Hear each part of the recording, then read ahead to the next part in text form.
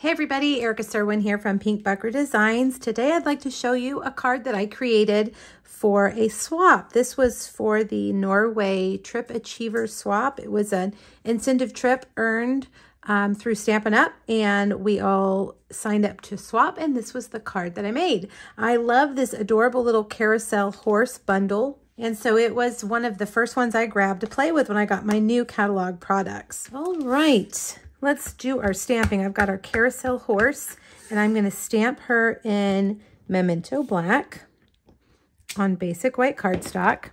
I've got the, the little carousel pole also in Memento Black. Let's see, we'll just do that down here. And then I've got the sentiment and we're gonna use Azure Afternoon and I am only going to ink up the word enjoy okay? Like that. All right, now I'm going to use my Stampin' Blends, and I think I'm going to bring my chair over because I do a much better job coloring when I am sitting. All right, the first thing I'm going to start with is light smoky slate on her tail. And I'm just going to go completely over it. And then we'll come back and add in some shadows. Now, I looked on Pinterest to see what color carousel horses should be. And what I found is that there's no right or wrong way. They are all different colors. Lots of pastels and rainbow colors. Um, so feel free to color your carousel horses any color you want. Now I'm going to go over a couple of these segments to make them a little bit darker so that we have a little bit of variation. Now I'm going to come up here and color the horse's mane. I'm using the bullet tip end of my marker. I prefer the bullet tip end. I just feel like I have better control over it, but that's a personal preference. The other end is a brush tip. You might find that you like it better. All right, I'm gonna add in a little bit of dark under some of those lines as well. And let's do that part right there. All right, now we're going to use Azure Afternoon to color in the saddle. This is one of our new core colors. It's a really good turquoisey blue. Well, no, that's probably not a good description. It's, well, I don't know. It's a beautiful blue, like what you would see in on the Greek islands. That's, that's a good way to describe it. It's not green, it's very blue. So not turquoisey. In my mind, I always think it's turquoisey, but it's not. All right, now let's take Flirty Flamingo and color in the rest, this little decoration right here.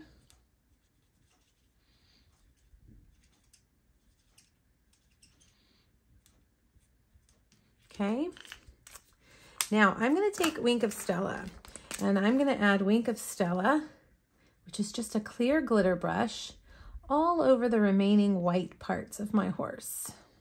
Give her a little bit of shimmer. Now let's get our Azure Afternoon again, and we're going to color in this pole. I'm using the light, and I'm just going to very carefully tap that color into every other segment. And, um, well, it looks like I skipped a section, but that's okay because the horse is going to cover up most of that middle part. I need my glasses and I don't have them with me right now, so I'm trying my very best to stay in the lines. All right, we are ready to cut. Now I'm going to take some post-it tape to really hold down my dies. Um, I don't have any kind of magnetic platform on here, so I want to be certain that my dies don't slip. So I'm going to take, this is called post-it tape, and I get it from Amazon. And I'm just going to slide that die around until it fits in around the tail, around the feet, and around the head. I'm going to put that down like that. Now for the post down here, or the pole, I'm going to use two pieces of tape, one for the top and one down here for the bottom. All right, last but not least, these are the nested essential dies. And we're gonna put this die on like this. All right, I don't think I need any tape there. I don't know. Will I regret if I don't? Well, let's just go for it.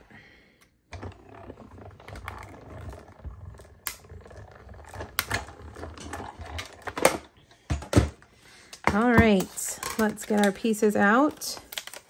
There's our adorable little horse and our the pole that he sits on or she sits on and enjoy. Now to create the focal point of my card, I have cut out a basic white um, uh, stitched tailor-made tag. That's what I'm looking for. And I realize now that I didn't even need to cut that out. That could have been stamped right on there like that. But you know what? That's all right. There's no right or wrong. But to save yourself a step, if you want, you can just stamp that directly on your tag. Um, one thing I do remember, I made these a while ago, these swap cards, is that the pole is too long for the tag so you can see I went down below. So we'll snip that off there at the end. And we're going to put our horse right there. And then our enjoy with a dimensional also right there. Now we've got paper or ribbon that perfectly matches our Azure Afternoon color. And this ribbon comes in a three pack, Azure Afternoon, Bubble Bath, and Lemon Lolly, all three new lovely colors. All right, snip your bow, grab a glue dot, and we'll put that right there at the top, like that. Now let's snip off the end right there. All right, now to make my little striped paper, I have a piece of basic white that is three and three fourths by five, and I have some three quarter inch strips of Flirty Flamingo. And I'm gonna start up here at the top. I've made them longer than they need to be. I'm gonna go around and trim them off when we're done. And I'm just gonna kind of space them out about the same distance Let's see, we want to get that straight. That one straight? I don't know. Let's see. There we go.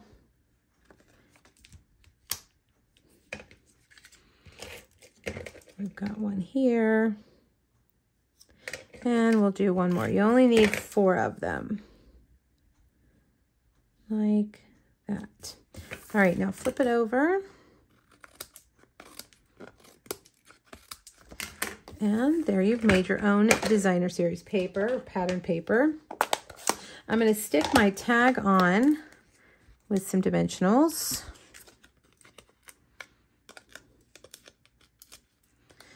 Like that. And then I'm going to get the little flowers and some Flirty Flamingo ink and stamp them three times. Like that. And last but not least, all you have to do is put it on your card base. And you know, of course, I'm going to use dimensionals. One, two, three, four. And there you go. All right, you guys, a fun way to use the Carousel Horses bundle. I have uh, three, nope, I have four other projects using this stamp set. So make sure you click the link here on YouTube, hop back over to my blog. Um, there will be several days of post featuring this adorable bundle.